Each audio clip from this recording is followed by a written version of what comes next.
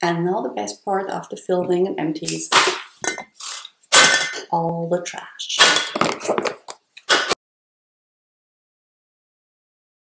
Hi everyone welcome back to Linda Libra Loca.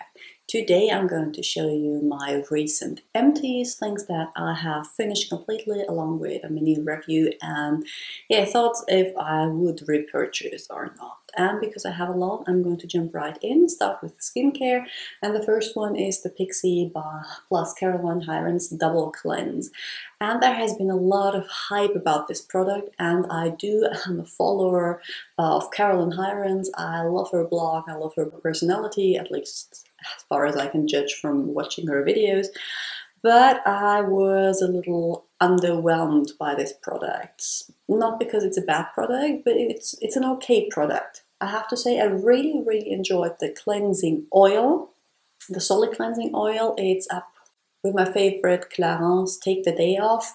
Uh, but the cleansing cream, I'm not sure, I just wasn't too excited about it. It was nice, uh, my skin felt clean, maybe a little tighter than I would have wanted, but all in all, if she's starting to sell the oil separately, I think I'm going to purchase this one, the, the double, no more. Then, two face mists, and I've been really enjoying face mists lately.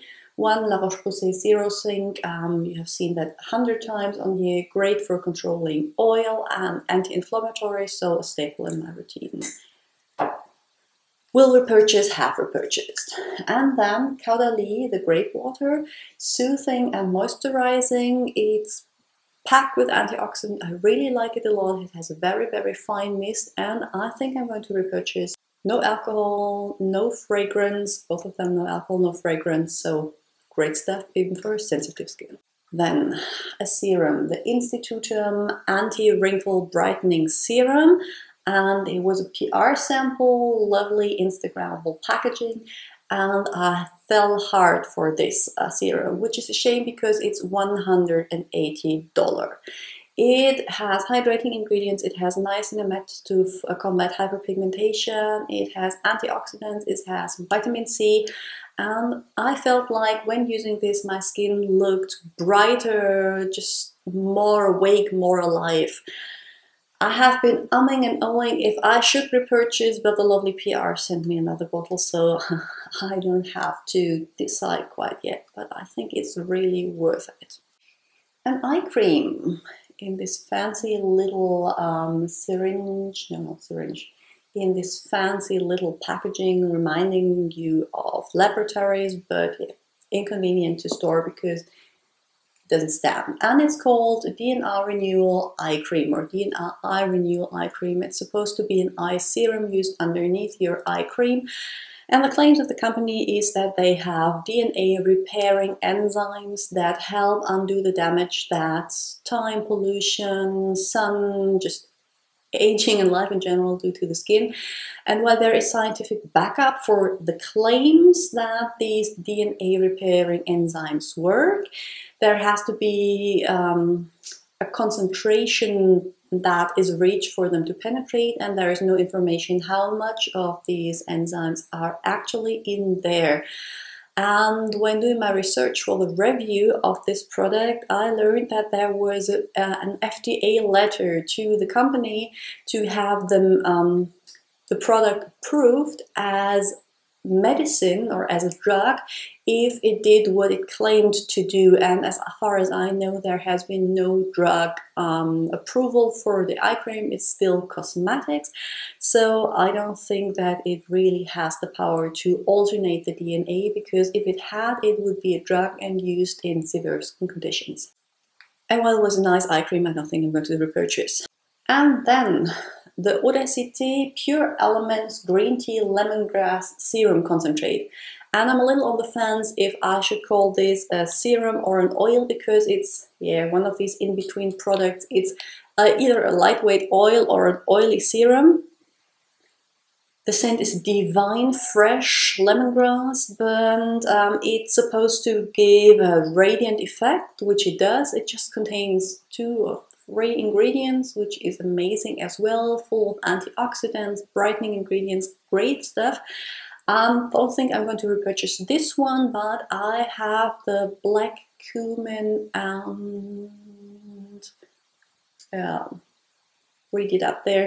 The one for blemish prone uh, skin and I'm excited to give that a go because the brand really intrigues me. Moving on to makeup.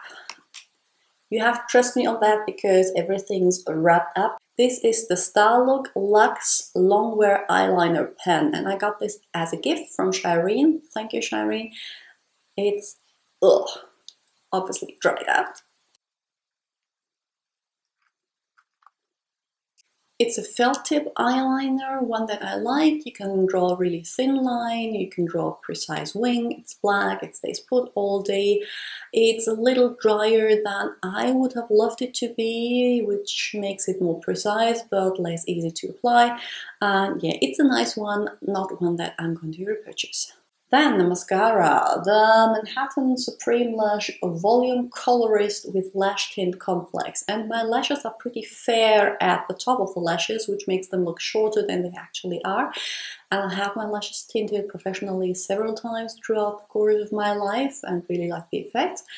And this mascara claims that with continuous use it will tint your lashes. And it does. My lashes went from completely blonde at the tips to uh, I think a light brown on the tips, not the effect that I can get with a professional lash tint. And yeah, the mascara itself is just natural in finish, so it's not my favorite one. I don't think I'm going to repurchase, but yeah, it depends on your um, on your needs because my mother, her lashes are straight up blonde.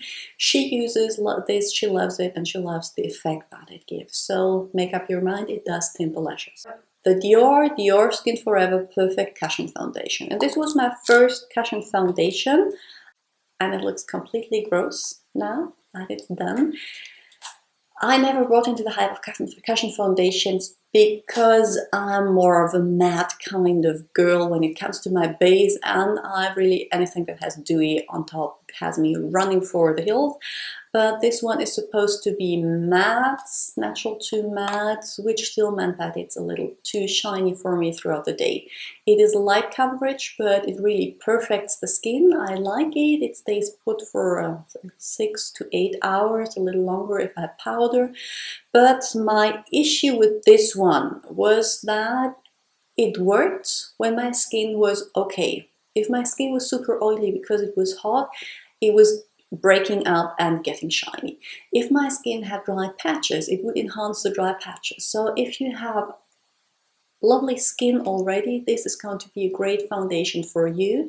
But if your skin is off balance, either in terms of oiliness or in terms of dryness, this is probably going to take a little more effort. And you can still make it look good, but for me personally, and foundation that is so expensive I just want to put on and probably maybe powder or use a primer but not moisturize and pat dry and then apply and then powder and then smooth over and then use a spray and all that so long story short I'm not going to purchase another foundation and I can hear you saying this is just a sample. It is, but this sample lasted me uh, more than two and a half months because a little goes a really, really long way. And it's the Maybelline Fit Me Matte and Poreless Foundation. And as I just said, matte and poreless, I'm all in. Sadly, this is maybe poreless, but not matte. This is natural on the verge to dewy and thus not suited for my skin needs. It is great when it comes to staying power, it is great when it comes to offering a natural looking medium coverage. It didn't cake on me, it didn't settle into fine lines, but yeah, the matte one, not my favorite. And a pretty huge container. This is the Clarins Loose Powder and Translucent, all gone. And you have seen me use this in many tutorials. It's a translucent powder, but it really, really helps mattify my skin. It takes the dewiness out of any foundation without looking cakey. And that's amazing for filming. So I used it quite a lot when I did heavier matte base winter and fall looks for the Inspired by series. It is gone now because I did experiment a little with baking and you go through a whole lot of powder when you do baking. I don't think I'm going to repurchase because I have others um, that are on rotation right now, the Laura Mercier one for example, but it is a really nice product if you want matte skin that does not cake on you. And that's it for my empties. Have you tried any of the products that I have mentioned? And if you have, would you repurchase? Please tell me in the comments below. Make sure to like, make sure to subscribe so you don't miss any further videos. And I'm going to see you all very soon with another beauty video. Bye!